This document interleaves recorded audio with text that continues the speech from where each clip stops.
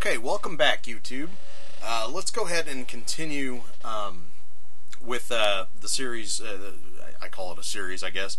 The uh, uh, on uh, XBMC. Now, on the last video, we installed it from the repository in Linux, and now what I want to do is I want to go ahead and open it up and, and show you how to get your channels, your first channels going. So what we're going to do is, in order to open it up, how do you open it up? Well you go over to your application manager and then you'll type in XBMC here.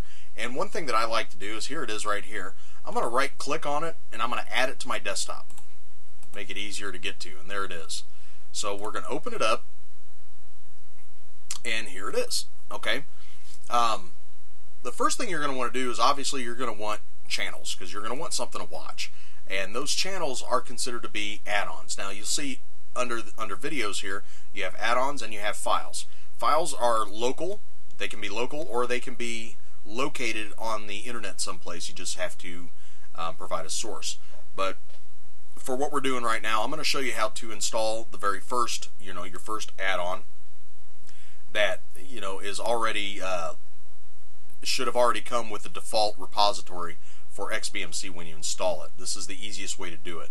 Um, you do have access to some. So I'm going to click on add-ons, and you'll notice in here there are no add-ons. There's nothing in here you can choose yet. Um, so what you're going to want to do is you're going to click Get More. Okay, and these are all the different.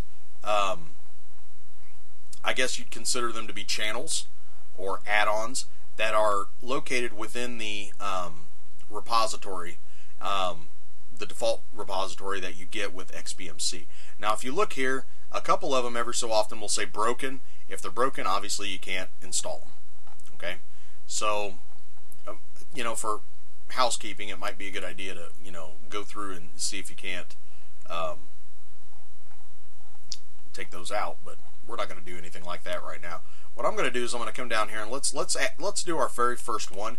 And fittingly enough, let's do YouTube. So all you do is you go to whatever channel you want, and we're going to use YouTube. Click on it with a left click, and then you're going to get the option here to install. So you click on install, and I know that was terribly, terribly difficult, right? Um, a lot of times when you, the first time you install it, it will show downloading, and then once it says enabled, you're able to use it. Okay? So what I want to do now is I want to go back up. Oh, and I'm sorry, when you go up, because the add-on te technically is located in the system area, I'm going to hit the home page and I'll show you here in a minute. Um, where we were just a second ago was actually uh, actually right here in settings and add-ons. This is where we, where we were a little bit ago under video add-ons. See? See, this is where we were at. This is not where we want to be though. What we want to do and what, what I'm doing is I'm, I'm coming off a menu and then I'm right clicking and that will take me back. So if you go over to videos and add-ons now, we should see YouTube and there it is. Um, if I click on YouTube and I go to search, um, you'll see that I've already done, when I was testing this out earlier, I did a search for Bahamut OS just to show you how this works, but I'll do it again. You click on search and this will actually save your searches. You know, and I believe that's a setting that you can you can change also.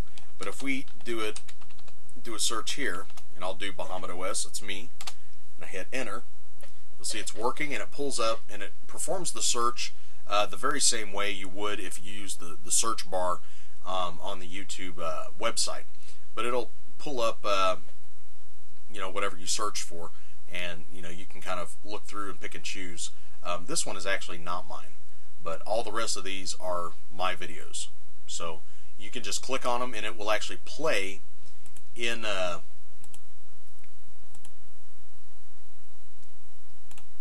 in the uh, uh, XBMC has its own player. Okay, so that's how you use um, that's how you install a an add-on from the default uh, repository that you already have. But what if you have something um, that you want to use that you know about, an add-on that you know about, um, but it's not included in the in the default repository. Well, I have one in particular that I this is an add-on that I absolutely adore. It's it's just fantastic. Well, how do you, how do you put it in? I'm going to show you how. You go over to System, and you're going to want to go to File Manager. Click on it, and then you'll notice here you have no sources as it is. So you're going to double click Add Source, and it'll open up this window. Okay, right here where it says None in this in this uh, box right here, you're going to click on it, and this is the point where you can add or you're going to type in your address. So the very first one I want to install is, is a is an add-on called Mashup, and it is a fantastic, absolutely fantastic um, add-on, and I'll I'll show you why here in a minute. Um, but the address for it is http colon slash slash um, install dot mashup whoops xbmc dot com hit enter, and that'll put it right in here. And that, yeah, make sure your address is correct. Um, you do have to give a name for it. So what I'm going to do is I'm going to use an asterisk because what that's going to do, it, these things are in, in alphabetical order. An asterisk is going to make sure it's because it's a symbol. It's going to be toward the top. Uh, that was a tip that I got from um, another video on YouTube. I can't remember who the user is, so my apologies for that. But um, this actually is something that I like to do for for the add-ons, um, or the rather the sources that I will probably use often. So this one is for mashup. Yeah, let's do it like that. Mashup. So I'll hit enter. Now that I've given it a name, I'll click OK. And now you can see it's listed as a source. Alright, so I'm going to go back to the, now that that is listed as a source, I can go back to the home page just by hitting the home button here. And then now I'm going to go into settings, system settings, okay? Click on that and we're going to go to the add-on selection here. Click on add-ons and you'll see these are all the add-ons from the, the, the video add-ons from the default directory. So I'm going to go up and I'm going to go up again because what I'm looking for is not here. Okay, here we are. This is what you want. Install from a zip file. Okay? Click on it, and you can see now this is actually listed as a source. So you click on it once, and the first thing you're going to want to do is install the repository. So go down here to the repository folder, open it up, okay, and you'll see there's two different zip files located here, and it's taking this information off the internet, okay, off that location. You're going to want the mashup repo, which is the mashup repository. So click on it, and we're going to wait. There it is. All add-ons by MASH, add-on enabled. Okay? So, now that that's in there, we can go to Get Add-ons. Okay? And you'll see now it's listed in here, all add-ons by MASH, which is what the status message told us it was called a minute ago. So we're going to click on that, and then we're going to go down to Video Add-ons, and we have a selection. He's got three different, I guess you call it channels. Um, I'm not interested in any Baltimore Ravens, okay, whatever. Um, the Sportsaholic one is broken. I'm not really interested in either one of those. Mashup is the one I'm interested in, so I'm going to click on Mashup and go down here to install. Click on Install. Now, it says enabled. Um, sometimes, and I ran into this a little bit ago, um, and I did not record it, but sometimes it will take a minute for it to download, and usually what you'll get is a status message here a SAS message, message saying downloading and it'll give you a percentage until it's done. Once it's done, it will say enabled. Once this says enabled, that means that you should be able to, at this point, let me go out to the home page. Okay, you should be able to go over to videos now because it was a video add-on, and uh, go to the video add-ons um, menu, and there, mashup is there. So I'm going to click on mashup. Now I ran this earlier uh, typically, what you'll get is you'll get a page um, that will have like important important announcements. You just close that out. Uh, one of the things that is a little bit annoying about Mashup the first time you start it is it will play this video automatically. Um, it's a little bit loud. I'll, I'll just let you know that ahead of time. It's a little bit loud, and it is a little bit of an annoyance that they that they force you to watch that the minute you put it on. Um, you don't have to watch it. You can close it out. Um, but it's a good idea to go ahead and you know look at the important announcements and see what they have to say. Um, I don't want to take anything away from them because really, honestly, I like this this add-on, but that video does get a little bit irritating. So I'm giving you a heads up now. Um, I again, I did a little bit ago. That's why it didn't show up here, but it will very likely the very first time it will show for you. So that's not out of the ordinary. Expected. But once you're done with that, this is typically what you'll get when you open it up. Okay, and one of the reasons why I like uh, Mashup so much is you have all these different um, uh, these different buttons that you can click, and it takes you to different places. Obviously, um, the Super Search is great. Um, you can, you know, if you click on Super Search, you can search TVs or you know TV shows or movies. Um, I'll do an example on TV show that I like a lot. Um, I'm a big fan of Game of Thrones. So let's just do a search for that under TV shows, and it's going, it's doing the super search. Okay, um, this is one way to do it. There is another add-on that I'm going to show you here in a minute also that is set up a little bit nicer than this. Um, and the reason being is this shows every episode, you know, everything that's uploaded, and it's not quite, uh, it's not quite as organized as I really like it to be but it is a source, you know. So you, and you can the super search is nice in that you can find just about you know anything that you want, TV or movies. You can usually find it in there. Okay, I'm going to out myself a little bit as kind of a geek and a nerd, but I'm a fan of anime. So if I click on that, they've got four different channels in here, and I'm just kind of showing you. Let's go to Anime Tune. You click on it, you come down through here, and you've got again everything is organized pretty nicely. Is one of the reasons why I like um, mashup. Most of what they have is organized pretty well, and I say most. But as an example, you know, if you go into like dubbed anime, um, you can click on that and you'll see you can you can you know kind of browse through it alphabetically. Um, you can see what's popular, newly released, recently. You know, you just look through here, completed genre. Uh, genre is kind of nice because it just you know depends on what you like. As an example, but the point in all this is just to show you that you know, there's there's quite a bit that's organized very very well, and it makes it very user friendly to go through here and take a look. But here, let me just do do popular real quick.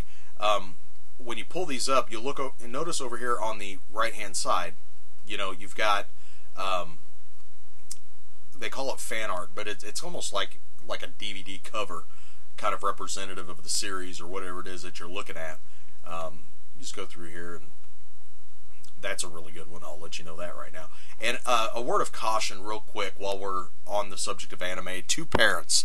Just because it's a cartoon does not mean that it's automatically G-rated. Let me just leave it at that. Okay, so as a word of caution, um, I've not found anything in here, you know, uh, like hentai or anything, you know, too explicit.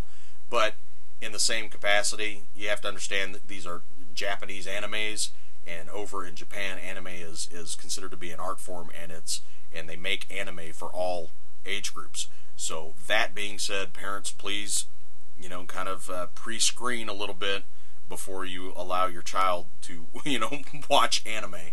Um, High School DxD, as an example, this is actually one of my favorite um, animes, and it's one of the most popular ones out right now. Um, but this this one doesn't. You know, it, it has adult situations. They do kind of draw, and I'm gonna say draw because they're tunes. They do draw a little bit of skin. So, and that has to do with the the situations that the guys put in. It's actually kind of funny, but it's certainly not something that I would recommend um, for children out there. So, uh, parents, again, that's my public service message for the day. Just be aware of that. Um, but back to what we're what we're doing here. Uh, this is again one of the reasons why I like uh, mashup, and I think it's it's something that you should definitely uh, definitely install. Um, so that was mashup. There is one other one, and let me do this the easy way. Let's just go back to the home page. Um, there is one other one that I like a lot, um, and we're going to do it the same way: system, and then file manager, and then we're going to add a source just like we did the last time. And this one, I like to think of it as kind of an installer, okay? And it's called Fusion, um, and it's by XBMC Hub.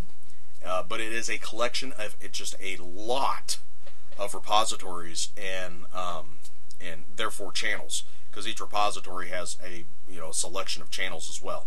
But the address is http colon slash slash fusion f u s i o n dot x bmchub.com. Hit enter. Okay. And then down here you want to give it a name. Like I said, I kind of see this as an installer, so I'm going to call it Fusion Installer. I'm going to hit done. And then go down here, click OK, just like we did with Mashup. And now we have it as a, a source. Okay, and just like we did before, you go out to the home page, System, and then you're going to go to Settings just like we did the last time, over to add-ons, just like we did before, and you'll notice that we're still at the add-ons page um, where we went into MASH a little bit ago. So to, to we need to go up many levels um, to where we, you know, here it is, install from zip file. Okay, so this is the one we want, just like we did with Mashup. So we'll click on that, and this time we're going to go into the Fusion installer. Okay, click on that once, and I'm going to go down here to where it says movies and TV. I'm going to open that up, and you'll see all of these are repositories. Okay, um, I'm interested in the Lambda repository, and there's a reason for that. So I'm going to go ahead and click on Lambda, or repository Lambda, and I'm going to wait for it. There it is, Lambda's XBMC add-ons, and the add-on is enabled. So just like we did the last time, I'm going to now go up to Get Add-ons, and now it's listed here as Lambda's XBMC add-ons. Click on that, and then I'm going to go down to the video add-ons. And as I said before, there's there's a lot. You see, there's several um, several uh, channels in here. I'm a big fan of GoTV, so I'm going to click on it and click install. Um, and this that's actually the uh, the add-on that I use to watch Game of Thrones when I'm watching it, and I'll show you why here in a little bit. I'm all, I also like GoMovies, so I'm going to install it. Same way, click on it and then click install. Glow Movies, which are in HD, um, I like that channel as well, so I'm going to click on it and then click install. And normally, what you'll see because I have installed these before, you know, when I, when I was making sure all the servers were up, so I could show you how to do this. Um, this will usually show downloading, and you can actually download more than one at a time. So you just go through and select them and click install and on the next one. But uh, once it says enabled, you're ready to use it. I also am a big fan of Vyuse, so I'm going to go ahead and install that. That's that's actually a really good one too for movies. Um, so now I've got all of these enabled. Um, I'm going to go down here to the home screen and I'm going to go over to videos and add-ons, just like we do with any, anything else, right? We did with Mashup and YouTube. And now I've got all of these listed in here. Okay, so just go TV. I'm going to go to it, and I'm going to go to popular, just because I already know that this is where I can locate, you know, Game of Thrones. You can do a search. You can do searches by genres, all this. I invite you to play around with this and, and just see how it works. It's all very user friendly. Um, but I'm going to click on popular, and right there, the very first one is Game of Thrones. Um, it's the most popular show right now, anyway. And if you've not seen it, I recommend it. You know, it, it takes a minute to get into the uh, into the storyline, but it takes off pretty fairly quickly. So, um, but if you click on Game of Thrones, what I like about this one, as opposed to what I showed you on the uh, on the mashup, the the Super Search, uh, this actually breaks it up into seasons, which is really nice. Um, so, as an example, um, season one, if you've not ever seen it before, I'll open it up.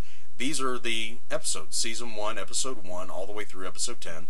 But if I open up episode one, click on it, it says opening stream. It's not actually opening a stream just yet, but it's getting the information of where that episode is located as far as uh, different servers. And you'll be able to choose which server. I'll be able to show you that here in a second. Here it is. So, like here, these are all the different servers that that episode is on that you can connect to and have it stream so you can watch it. Um, a quick note, real qu- uh, real quickly over here, right here, you'll see this one says HD, and then on down is SD. Um, this is high definition, and then there's standard definition. Now, it depending on what your bandwidth is, you pick and choose. You know, if your bandwidth isn't fast enough to handle high def, um, then what you're going to get is it's going to buffer. It'll play for a little bit, then it'll freeze, and it'll have to buffer again and do that, all that kind of noise. Um, if it's fast enough, it won't have any problem. Um, typically, with the exception of you know issues like internet connectivity and congestion things like that. Um, but that's essentially what the HD and the SD is here. Um, I'm not going to open that and start playing it um, because it will likely mess up my video recorder, so my screen recorder. So um, I'm going to go ahead and close it out. But in any case, you know, I can click back and then we can go over to season four, which is the latest right now. And you can see there's only been three episodes of season four that have been out. And you can see the very last one here, episode three. It tells you when it aired. Aired 420 2014. That was last week. There should be another one tonight, if I'm not mistaken. But uh, um, my point is, it it stays pretty pretty current, fairly current. It, I mean, the the episodes come up pretty fast. Um, so, uh, and th- this was just an example, you know, Game of Thrones because I'm I'm a big fan of Game of Thrones. But if you look through here, there's all sorts. There's Walking Dead, that's pretty popular, and then you know Vikings, I've heard is pretty popular. Breaking Bad, you know, here's the Big Bang Theory, um, Supernatural. I mean, you've got all these different ones. Um, here's House, you know, the the uh, thumbnail hasn't loaded yet, but here's House, Doctor Who, you know, the following. There's Grey's Anatomy up there. That's an older show, but it was fairly popular, I think, back in the day. Um, anywho, so you've got all these different things to choose from. You can go to the next page. There's even more. Um, you can find a lot of, of things to watch on here. So with that, I think I've, I've kind of shown you how to uh, how to get your get yourself set up um, to be able to use um, XBMC. This is a great, great, great program to have. Um, with the cost of, of, out where I live, I have to have satellite because we, we don't have cable um, out in the sticks out here. So I know what, what satellite costs. At least you know for my family here, it's it's you know over two hundred dollars a month, and it's ridiculously expensive. Um, when if you've got a good enough internet connection, you have XBMC, there really is no need for it. Um, that's just my opinion. Um, so that'd be a good way to save quite a bit of money. Um, I'm often amazed how many people do not know about XBMC. Um, I'm a little bit irked that I only really looked into it just a couple weeks ago, like I said, um, because I could have been, you know, utilizing this for a very long time now. It's been a, it's been around a while. Um, so with that, I highly suggest and I actually request, you know, share this video. You know, put it, you know, share it on Facebook. Let everybody know, let your friends know that there is an alternative, and you can save some money, quite a bit of money, by doing it this way. You know, um, internet connections are really good now. You know, bandwidth is high enough; you can get good quality um, content to view. Um, you know, good shows to watch. It's great entertainment, and it doesn't cost you anything. You know, you can install it XBMC, as I said in the, in the other video. Um, it can be installed on uh, pretty much every operating system there is, as far as I know. Um, they, it, it, covers pretty much everything, so everybody, there's really no excuse. Um, I've actually, I'm going to be doing some videos on the Raspberry Pi um, with XBMC because I think that's probably what I'm going to end up doing. Is, is my original idea was just to make it a media server anyway, but I think I'm definitely going to go with XBMC. Um, there's some other um, features that XBMC has um, that allows it to be a quite literally a media server, um, which I'll be covering that in future videos, hopefully, um, when I've got it all figured out. But in any case, that's how this goes. Please like, subscribe, share. Definitely share. You know, let let your friends and family know that they can do this. So, and you're welcome to share directly from the link um, or you know this this uh, video directly. Um, I think everybody should know about this. It's a it's just a, a fantastic fantastic program.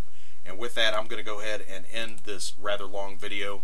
Um, in the next video, I'm going to go through showing you how to set the time. I think because I'm going to do that next. But anyway, with that, thank you very much for watching again. Like, subscribe, share, and we'll see you on the next video.